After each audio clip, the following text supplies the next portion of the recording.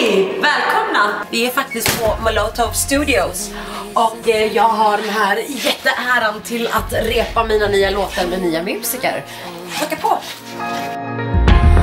and give me time to analyze why I was hanging on. Hallå! Hej! Jag har med mig en kompis som heter Kamera. Det här är Andreas Landegren, min kapellmästare. Och så har vi Andy som spelar gitarr. Tobbe som spelar bas. Och Isak, Isaac the man som är på trummor. Ska vi sjunga lite?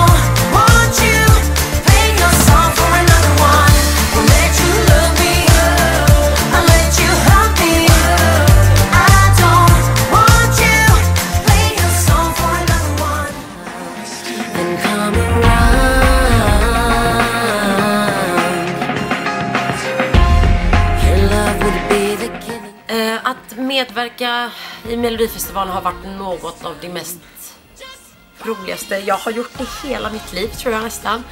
Eh, det var sex veckor håller ju Melodifestivalen på och jag var med tre av alla de här veckorna. Eh, men det som fick mig till Melodifestivalen var ju låten Survivor. Ehm, och det är en låt jag är otroligt stolt över som jag, att jag har sjungit den här låten, att den här kommer att följa mig i hela min karriär. Eh, survivor är en låt som uttrycker mig väldigt mycket för att jag känner mig som en survivor och jag hoppas att det är många som kommer vara survivors i det här livet. Hej innan refrängen också. Ja, Hej! tror jag. Och så är det ett hej innan i, eh, det här, när vi gör ett break. Så var är det någonstans där? eh, Sticket där. Ja. Just det. Du. Hej! Det ligger där också. Tredje gången, alltså bara sista vändan eller? Nej. Ja.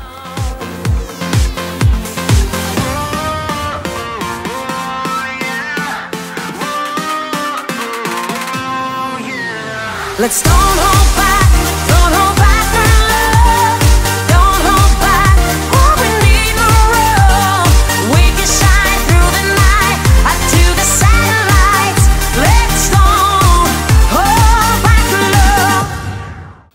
Jag har gjort en duett med Jill Johnson som jag är väldigt stolt över. Det är en jättefin ballad som heter Enough.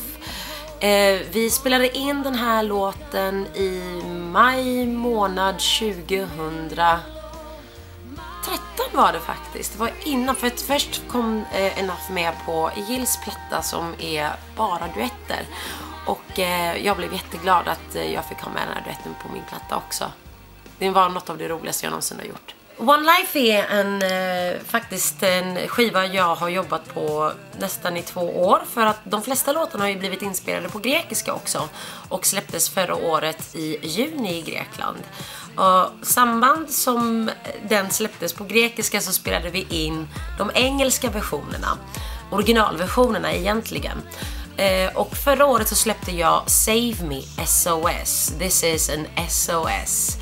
Ehm, det är en catchy skiva med bra poplåtar. Jag tycker definitivt att de är jättebra.